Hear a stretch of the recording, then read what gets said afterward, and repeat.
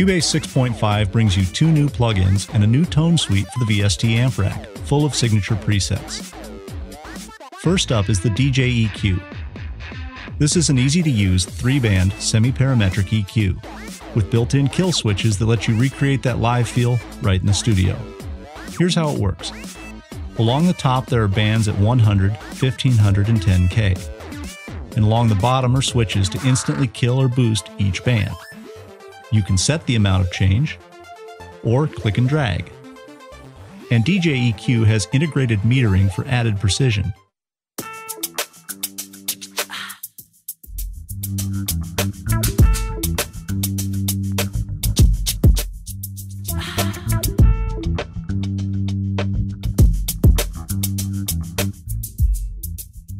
And the kill switches are easy to automate, like this.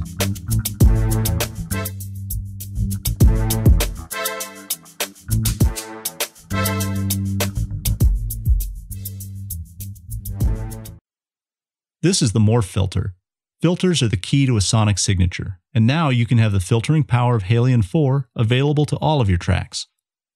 Select a filter shape for the high pass and low pass filters. Start playback and then crossfade the cutoff and frequency in real time.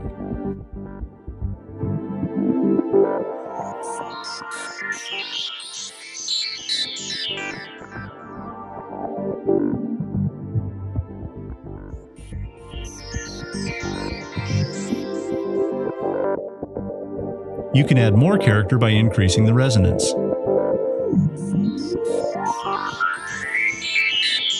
You can automate the filter shape.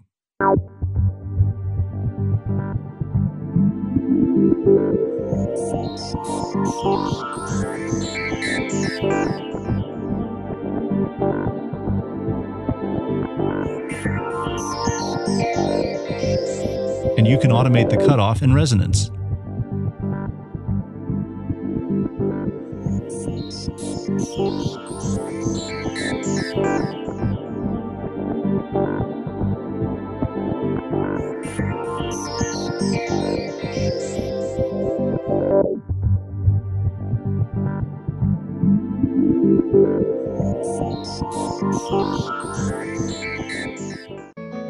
The VST Amp Rack has more to offer than ever before, with new stomp boxes for limiter and maximizer, and new output meters,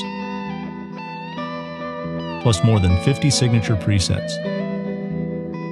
The VST Amp Rack speaks for itself. Take a listen.